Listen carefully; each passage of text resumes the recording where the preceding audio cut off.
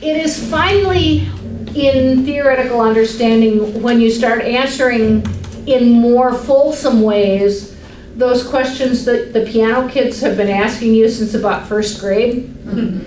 Um, where you have found ways of saying, that's a really cool thought. Um, I promise you we'll get to that later. Or it's really neat that you're thinking that way, you know, as a way of sort of diffusing that for a minute so you can keep going down your pathway. Um, because it opens a can of worms that's going to be very theoretical in nature. So Ed would call the labeling of pitches the, with letter names, the labeling of durations with this is a quarter note, this is a half note, this is an eighth note. Um, he would call that theoretical understanding. But again, theoretical understanding, you know, he would also call very sophisticated questions. When you look at the list of questions when you read the theoretical understanding, here's what you could do in theoretical understanding. Trace the history of music from um, versus this is an E. Right. you know, okay. okay, yeah, that's a pretty big umbrella.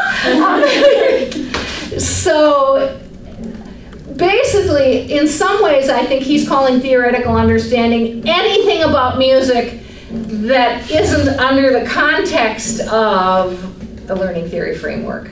Um, and you can do everything you need in music without knowing letter names.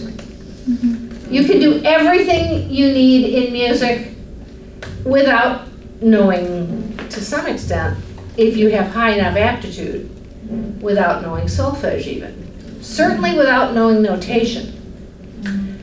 Um, but the solfege and the notation can be tools, notation tools to help you remember, solfege tools to help you problem solve, whereas letter names don't help you problem solve. Right. Yeah. And so the thing about theoretical understanding that is different from music theory is when you're saying theoretical understanding, you are assuming audiation.